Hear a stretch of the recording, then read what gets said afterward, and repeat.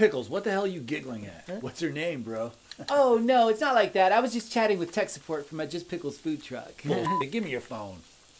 Who the hell is Table Needs Rob? Rob?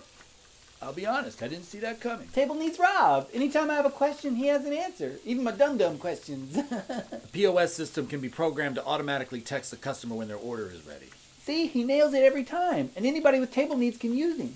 Oh, damn, he really was chatting with tech support. Yeah, but I still don't get why you were giggling. What the hell is funny about that? I just think POS sounds funny. Oh, oh, wait. Now you got a text from Huddy Buddy and it says, I'm bored. Where are you at? Oh. Let's just get back to work, guys.